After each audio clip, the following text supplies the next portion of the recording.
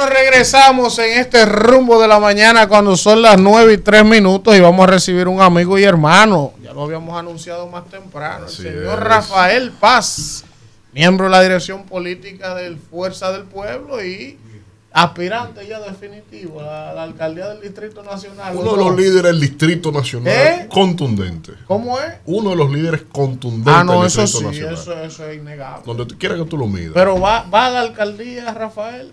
¿O no, no han definido todavía? ¿Y qué pregunta es esa? Falta es el welcome aboard que tú haces. antes de nada. Porque ya Faride, por ejemplo, dijo que ella quiere repetir. Por ¿Quién, es ¿Quién es ese? Perdón, perdón. Por cierto, oye, ya que usted la mencionó, el primer candidato que yo veo aquí que anda con su equipo de trabajo. Así es. Porque Una plana de dirigentes reales. Usted mencionó vino sola. Así es. ¿Entiendes? ¿Eh? O como dice la, la, la, canción, ella baila sola. Ella anda sola. Vamos, Rafael Paz. Bienvenido, hermano. Mi gente, qué placer, qué gusto estar aquí con ustedes en este espacio que es una demostración de que hay juventud con calidad en la República Dominicana. Juventud profesional, con visión de futuro, con compromiso. Yo me siento orgulloso y honrado del trabajo que ustedes hacen a diario aquí. gracias. Eh, y qué más decir, volver a mi casa aquí a Rumba, a Radio Cadena Comercial. Sí, sí, sí, eh, Déjenme decirles, hoy estoy acompañado de una delegación de jóvenes líderes políticos a carta cabal de la Fuerza del Pueblo que están descollando en el ejercicio político. Lo encabezan dos regidores estrellas de, esta, de este Distrito Nacional. Francis Hernández de la circunscripción número 2. Aníbal Rivera de la circunscripción número 3 ambos proyectados como candidatos a diputados en la contienda que viene. Jairo Doñé, dirigente sindical y empresarial de la circunscripción 2, también proyectado como candidato a regidor eh, en esta contienda que viene. Y me acompaña un equipo operativo duro, mm. encabezado por Roberto Toribio, que es nuestro director político, Claudio Manzueta, ingeniero, nuestro operativo Griselda Mejía, que ella es la jefa de todos nosotros realmente. Como, debe ser, así se nota. y Franklin Iber, que además de todo es mi presentador oficial, además de muchas otras cosas, encargado de AC del equipo. Gracias por darme esta oportunidad. Rafael, el escenario político de la República Dominicana, todavía no estamos ni siquiera en la pre-campaña y ya estamos en campaña. Los tres partidos principales están en el ruedo. La Junta emitió una resolución el otro día. Francisco Javier renunció. Danilo dice que los PLDistas quieren votar por Leonel. ¿Cómo que ves, Rafi, el escenario político electoral? Ya tú has pasado otros procesos, has estado en cuartos de guerra, has estado en el comité político del PLD, ahora en la dirección política de la Fuerza del Pueblo. O sea que de una manera u otra tú has estado en los espacios de toma de decisión de poder de los procesos. ¿Qué está proyectando Rafael Paz que va a pasar con todo esto que está ocurriendo? Mira, hace un tiempo yo estuve en este programa y casualmente vine exactamente con la misma corbata. y vine no solo con la misma corbata, sino con el mismo argumento que les voy a presentar en este momento. Que los acontecimientos han demostrado que era un argumento correcto la fuerza del pueblo va en un proceso sistemático de consolidación como principal partido de oposición de la República Dominicana. En aquel momento era un argumento, ahora es una realidad que se proyecta en todas las mediciones y estudios. Y eso es el resultado de un trabajo sistemático, organizado, enfocado en dos cosas. Primero, nuestro tema, nuestro enfoque son los grandes temas nacionales que afectan al pueblo dominicano. Y nuestra decisión como partido es acompañar al pueblo en sus luchas, en una lucha contra el alto costo de la vida, contra la inseguridad, contra la inefectividad de una administración que no ha podido lidiar con una crisis y un ejercicio constante de proponer alternativas como hicimos con aquel desacertado proyecto de tasa cero, donde planteamos que lo que se necesitaba era fomentar la producción nacional y el empleo dominicano. Pero en adición a eso, un trabajo constante de fortalecimiento de una estructura nacional que hoy sorprende a muchos pero que no es el resultado de la improvisación, sino del trabajo de mucha gente con mucha experiencia política y de una juventud con energía. Hoy la fuerza del pueblo ya tiene depositada en la Junta Central Electoral un padrón inteligente, georreferenciado, de más de 1.500.000 miembros. Y a el tercer trimestre de este año, ese padrón llegará a 2 millones de miembros, con decenas, no, con miles de direcciones medias a nivel nacional, con decenas de miles de direcciones de base, una estructura robusta y enfocada en un propósito, ganar las elecciones en febrero y en mayo. Rafael, mira un tema. Tú sabes que yo tengo una,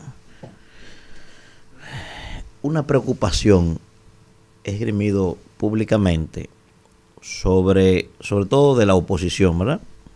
Ahí, por ejemplo, tú andas con un regidor que yo dañé dos zapatos míos trabajando esa candidatura. Gracias a Dios que ese señor no me ha hecho quedar mal. Yo me siento honrado de, ese, de haber trabajado por Francia Hernández para que, para que fuera regidor. no, no, no, se lo comió, se lo comió a esa candidatura. Eso fue a puro pulso, se lo comió. el, de, el de candidato estaba más desbaratado que yo. Ya tú te puedes imaginar. el candidato estaba más desgranado que yo. Te, puedes imaginar. Derrotado, decía Oye bien, pero yo he dicho, por ejemplo, uno que viene de ahí, yo imagínate, un mes y 16 días me faltó para hacerle 20 años a ese partido. Y yo conozco a todo el mundo uno de los problemas fundamentales, cuando arrancaron esos problemas, aunque eso es mucho más profundo, ¿verdad? Yo he dicho que eso se pasó cuando Danilo se convirtió en presidente de la Cámara con 17 votos. Nadie ha explicado todavía cómo pasó eso, pero pasó. Desde ahí vienen esos problemas en el PLD. Ahora, mucha gente que hoy es de la Fuerza del Pueblo también puso su semillita para el descrédito que ese partido adquirió. Y hay gente que no puede sacar la cabeza y andan por ahí como que no ha pasado nada. Entonces yo he dicho que hay una necesidad de reconocer que se cometieron errores en el pasado, que se cometieron excesos. Por ejemplo, yo que no tengo partido ni tengo nada, quiero que alguien me diga, por mira, discúlpame aunque sea por un error que cometimos, yo quiero escuchar eso. ¿Cómo se le puede garantizar que ustedes harían diferente? Yo sé que tú no eres de ese grupo, tú, tú manejarte correctamente. Ahora, ¿qué harían diferente si el pueblo le da la oportunidad de que vuelvan al poder? Mira, cometimos tal exceso, yo sé que eso no va a pasar ahora, Leonel. O sea, ¿qué hay diferente en un Leonel Fernández hoy que merece la oportunidad de un nuevo, de una nueva, del sufragio del pueblo? ¿Qué, tú entiendes que, sería diferente? Mira, Manuel, yo creo que esa pregunta que tú acabas de hacer es extraordinaria. Y te voy a relatar una conversación que tuve con el presidente Leonel Fernández y que fue la conversación que me llevó a tomar la decisión de incorporarme a la fuerza del pueblo y abandonar mi posición en el comité político del Partido de la Liberación Dominicana. Leonel Fernández está convencido de que con Dios por delante su próximo gobierno es el que va a definir de manera prístina, evidente, su posición en la historia de la República Dominicana. Y que como tal, él está obligado y decidido a llevar la mejor versión de Leonel Fernández y a reivindicar cualquier tema que el pueblo haya entendido o que bajo su análisis personal, su, su proceso de autorrevisión, porque Leonel ha transitado un camino que pocos dominicanos han transitado. El desierto que tuvo que transitar Leonel, perseguido, vituperado, calumniado. Por su propia gente. Por su propia gente. Y tener que rediseñarse a sí mismo. Salir de la que fue su casa de más de 45 años. Refundar su visión política y lanzar un nuevo emprendimiento que hoy por esa madurez. Y yo recuerdo una entrevista de Leonel con Caro Santana, donde ella le preguntaba, ¿qué diferencia hay entre el Leonel de hoy y el del 96? Y él decía que hoy conozco mejor la naturaleza humana. Yo siento además que hoy contamos con una sociedad con aspiraciones distintas. Y esa combinación de una nueva generación que tiene nuevos paradigmas, con este líder de experiencia, que ha sido capaz de transitar este desierto, de rediseñarse y convencido de que debe presentar su mejor versión, es definitivamente la carta de presentación perfecta para que la sociedad dominicana le dé la oportunidad. Porque además de todo, el presidente que ha demostrado mayor destreza en la gestión de crisis en la República Dominicana, no solo lidiando con una crisis bancaria que sacó a la República Dominicana de los efectos de esa crisis, sino con la crisis de mayor dimensión en términos económicos que atravesó el mundo desde la crisis, desde la, Gran Depresión del año 1930, que fue la gran recesión del 2008. Mucha gente no lo recuerda, pero el barril de petróleo, que hoy está debajo de 70 dólares, en aquel momento llegó a 140 dólares el barril. Hubo una crisis de deuda en términos generales y una reducción de la liquidez en el mundo hubo una crisis de materias primas, donde Latinoamérica quedó profundamente afectada. Hubo una crisis en Europa, en Estados Unidos, hubo movilizaciones sociales en los países europeos. Recuerden lo que pasó en España en aquel momento, lo que pasó en Grecia. Y todo eso fue sorteado con una veteranía y dio origen al andamiaje que hoy permitió frente a una pandemia que menos dominicanos pasaran a la pobreza, que es ese andamiaje de programas sociales como Solidaridad, como el bono luz, como el bono gas y como una serie de eh, beneficios que disfruta hoy la parte más vulnerable de la sociedad, que son parte de una visión. Y si sigo caminando por los logros. Rafael Paz, eh, de verdad que es un hombre brillante un hombre que domina todos los temas. Ese hombre, tiene, ese hombre parece que el COVID no le afectó ningún sector. Hay beta caroteno ahí, dígalo. No, porque sabe que nosotros. dígalo. ha comido zanahoria en cantidad. Sí, a mí un par de capacitores y transitores, el COVID me acabó y se me pan sobao en Yaguate, si no se echa beta caroteno, maestro. Rafi, este gobierno eh, ha sido un gobierno que se ha quemado en la educación. Ellos mismos lo admiten en el día de hoy ellos se han quemado en la seguridad ciudadana. Ellos se han quemado en la alimentación, la inflación, en la salud. Aquí está, eh, los, los servicios. una pregunta. No, un discurso que Acuérdese que dos años y ocho meses tienen ahí, que eso se lo dejaron ustedes. Oye, acuérdese, no se lo olvide Es una pregunta, un discurso. lo, que pasa es, lo que pasa es que la pregunta eh, eh, eh, primero es este, esta exégesis que estoy yo haciendo. vaya, la pregunta, vaya al fondo, maestra.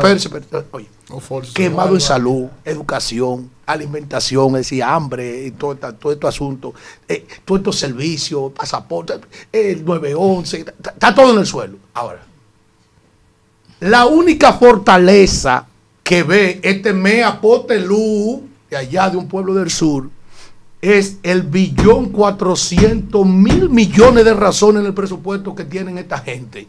Porque con eso que ellos creen, porque ellos no tienen más nada que ofrecerle a este país. Pero ¿cuál es la pregunta? La pregunta mía es, ¿cómo ustedes piensan enfrentarse a su única fortaleza, que es el dinero? Pues yo no veo otra de ellos. Porque tiene una gestión pésima. Ahora, ¿cómo ustedes van a doblar eso? Porque es un pueblo hambriento y esta gente está llena de dinero. Lo que se cogía de presupuesto para construir y levantar un país, ellos nada más lo están tirando en gasto corriente. ¿Cómo ustedes van a enfrentar eso? Todo nombre es una premonición. ¿Todo? Nombre es una premonición. Mm. Y nosotros lo vamos a enfrentar con lo único que se puede enfrentar de manera efectiva a eso. ¿Con qué? Con la fuerza del pueblo. Hablo, ¿A qué me refiero? Creo que el pueblo dominicano ha sido testigo de que uno de los sellos de esta administración es que no se preocupa por los más vulnerables. Todos los servicios y todos los aspectos de la vida nacional que tiene que ver con las personas que menos pueden están descuidadas. El costo de la comida, golpeando la costilla de los dominicanos durante el mayor tiempo de esta administración, sin solución efectiva, a pesar de que se le sugirieron medidas para eso. La delincuencia rampante, Mira, acaban de mandar un oficial superior en la provincia de Santo Domingo. Ya ni los guardias están seguros en la República Dominicana. Los servicios de salud, comenzando con las farmacias del pueblo y los servicios de alto costo, los medicamentos de alto costo, colapsados. Mira lo que ocurrió en Villamarina, por ejemplo, de los ríos, la semana pasada, a raíz de una decisión que, más que indolente, pudiera ser catalogada hasta de criminal.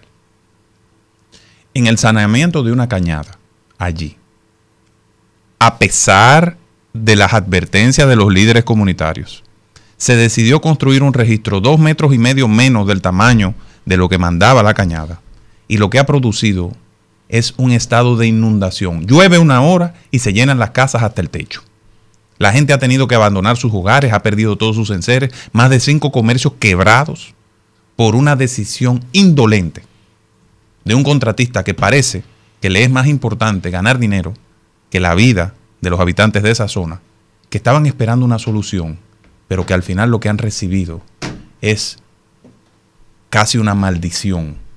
Y eso es un perfil de una manera de actuar, de una manera de actuar que piensa más en los beneficios de un grupito que en buscarle solución y empatizar y solidarizarse con los derechos de las mayorías. Vamos, Víctor. Rafael, el Distrito Nacional es la principal plaza política de la República Dominicana.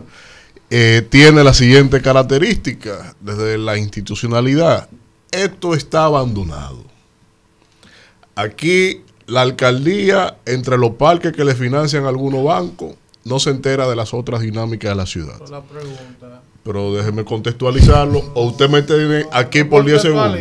Pues hágale usted la pregunta y ya. No, no, no, no. no deje que haga su pregunta, Mario. Está con usted. Ya, ya tuve que hacerlo con Alfredo. Entonces, cuando hacemos eso intro. Alfredo era la segunda pregunta que hacía. Yo no he hecho ni la primera. No había hecho preguntas. No, pero. Pero por favor, eliminen. Adelante, maestro. Adelante. Minimicen los introitos y vamos a la pregunta. Ningún introito. Yo voy, yo voy a mi contexto. Hoy se, cumple, hoy se cumple un año más del ajusticiamiento de Trujillo y está encarnado en el día de hoy aquí un Adelante, maestro. Y los revólveres andan por ahí todavía. Vamos, vamos.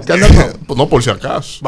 El asunto es, tenemos un distrito nacional abandonado en términos de políticas públicas y de representación. ¿Qué plantea la fuerza del pueblo? ¿Qué plantea Rafael Paz? Porque después de tener un laboratorio de ensayo fallido, palviar y un sinnúmero de vainas que no han servido para nada y el transporte público en mano privada, ¿Qué es lo que vamos a hacer con el Distrito Nacional que está colapsado en este país? Mira, tú sabes que yo tengo una excelente relación personal, tanto con el presidente de la República, Luis Abinader, como con Carolina Mejía, que es la actual alcaldesa. Y de manera particular siempre los he tratado con distinción. Cuando yo vi el programa de gobierno de Luis, yo dije, mira, me parece muy interesante lo que están pensando para la capital acertado. Yo fui un crítico de la falta de inversión en el Distrito Nacional, incluso siendo candidato del oficialismo Así es. en el proceso pasado, porque entendía que el distrito merecía mantener el ritmo, siendo la ciudad más densa, no solo de la República Dominicana, con 11.492 personas por kilómetro cuadrado, frente a 215, que es la densidad promedio del país, sino más densa de todo el Caribe. Y cuando entra el millón y medio de población flotante, que son los que nos visitan diario para trabajar, estudiar o hacer diligencia, se convierte en la tercera ciudad más densa del mundo, por encima de Medellín, Colombia, y solamente superada por Mumbai y por Dhaka. Una ciudad de esa naturaleza requiere de acción pública constante y de inversión en movilidad fundamentalmente y en servicios básicos como drenaje pluvial. Y decía que yo veía interesante porque una de las obras que prometió el presidente fue la construcción de un monorriel en la capital.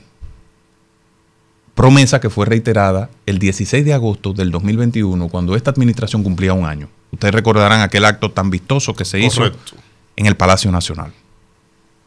Sin embargo, se inició el monorriel de Santiago y al Distrito Nacional lo dejaron en visto.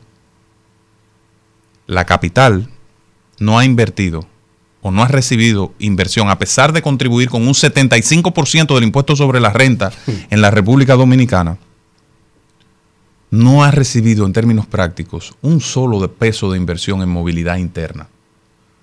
Normalmente los funcionarios del gobierno responden a este planteamiento mío diciendo que se está invirtiendo en la línea del metro que va a los Alcarrizos y en el teleférico. y que ahora tienen un proyecto de tren metropolitano. Pero yo he reiterado que eso es un error, porque lo que estamos haciendo es expandiendo la capacidad de entrar gente a la capital no desde la periferia y no mejorando la circulación interna, que es lo que tiene a los, a los capitaleños y a todo el que entra aquí al grito. Nosotros necesitamos conectar de manera eficiente a toda la zona que vive en la República de Colombia, en Arroyo Hondo y en toda esa parte con el centro de la ciudad. Por eso tenemos que extender la avenida del puerto hasta el río Isabela. Nosotros necesitamos lograr que toda esa zona de los kilómetros, que es la más poblada de la circunscripción 1, se conecte con el centro y con toda la otra parte de la ciudad que está en Gascue, donde están los centros laborales. Y para eso necesitamos ese monorriel. Nosotros necesitamos apostar a que hayan áreas verdes en el polígono central y áreas de circulación donde la gente pueda ejercitarse, llevar sus mascotas. Nosotros necesitamos un sistema de transporte público eficiente con un acuerdo adecuado con las personas que viven del transporte, que creo que han dado demostración que son capaces de ajustarse a las nuevas demandas de los ciudadanos. Y nosotros necesitamos asegurar las esquinas de la capital. No es posible que haya 50, 60 personas viviendo de pedir, de vender de manera informal y de limpiar vidrios en las esquinas, porque eso además de poner en riesgo a esas mismas personas que están ahí, proyecta una inseguridad tremenda y atemoriza y en muchos casos agrede a quienes andan en vehículos. Y nosotros hoy tenemos un sistema de mercados públicos en la capital que no solo da pena, lamentablemente da vergüenza. El mercado nuevo de la Duarte no tiene baños, no tiene destacamento policial, no tiene seguridad, no tiene iluminación. De ahí viven más de 20 mil familias. Y ahí adquieren sus alimentos cientos de miles de capitaleños. Pero también está el mercado de Cristo Rey, subutilizado y con toda la infraestructura de servicios dañada. Lo mismo ocurre con los demás mercados de la capital, a excepción del pequeño mercadito de Honduras, que digamos que es una cosita pequeña, y del mercado de la feria, que por el trabajo de los comerciantes y digamos las características de esa infraestructura, hay una situación diferente. Pero si usted se va al mercadito de la 17, por ejemplo, está completamente abandonado y destrozado. ¿Qué quiero decir con esto?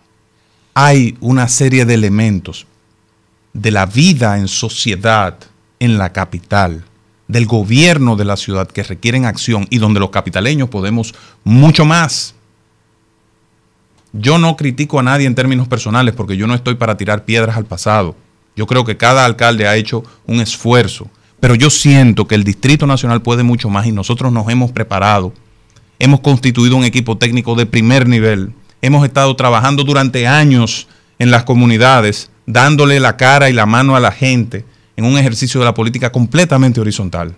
Y siento que tenemos todos las, los elementos para conducir un proceso que lleve a Santo Domingo a un próximo nivel. Además, hay una corriente mayoritaria de nuestro partido que ha decidido que asumamos la candidatura a la alcaldía. Bueno, Rafael, Bueno, gracias bueno, ahí- a Rafael Paz. Pero ahí está la de La primicia. dirección política de la Fuerza del Pueblo, ya lo dijo, candidato a la alcaldía por el Distrito Nacional y ustedes han escuchado una serie de planteamientos interesantes, una oferta interesante y yo creo en eso, elevar el nivel de los aspirantes. Me encantaría ver un debate con tu propuesta, la de Domingo, Sol. la de los candidatos Sol, del Hay un lío PRM. aquí, hay un lío aquí. ¿Cuál es el lío? Bueno, está casi definido en la fuerza del pueblo su candidato Rafael Paz, Ajá. Domingo Contreras en el PLD y entonces ahora en el PRM.